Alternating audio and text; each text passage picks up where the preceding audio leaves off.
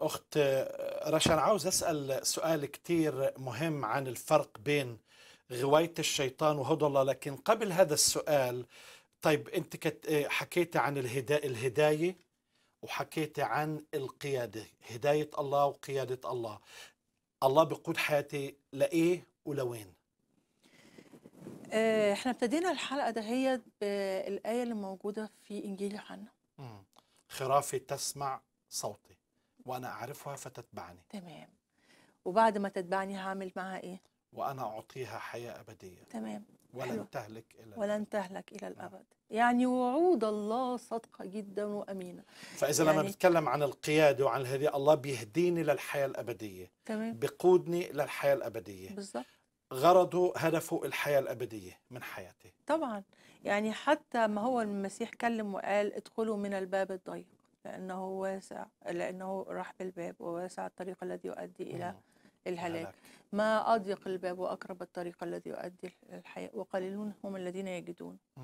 فالطريق ضيق لكن هو إيه ماشي معايا يعني مزمور 23 بيتكلم بيقول الرب راعية فلا يعوزني شيء. إلى مراعٍ خضر يربدني إلى مياه مياه الراحة يردني يرد نفسي يهديني إلى طرق البر من أجل اسمي.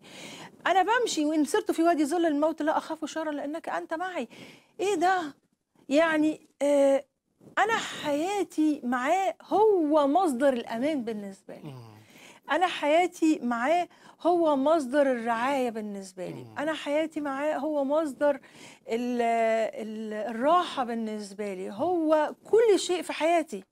لكن أنا وأنا ماشية معاه ما ينفعش إن أنا أقول إن هو علشان أنا ماشية معاك السكة أنا قلقانة منك. أنا خايفة. أنت هتضلني. ولا هتمشيني كويس؟ طب أنا هسمع كلامك. ما يمكن أنت. هتاخدني تضلني عن طريقك. في عدم أمان في. العلاقة ما بين كل واحد مسلم وإلهه آه لو لو لو هو في أمان في العلاقة ما بينه وما بين ربنا كمسلم يبقى هو ملوش أي علاقة بالقرآن. أو ما قراش القرآن أو ما يعرفش الآيات اللي إحنا بنجيبها دهيت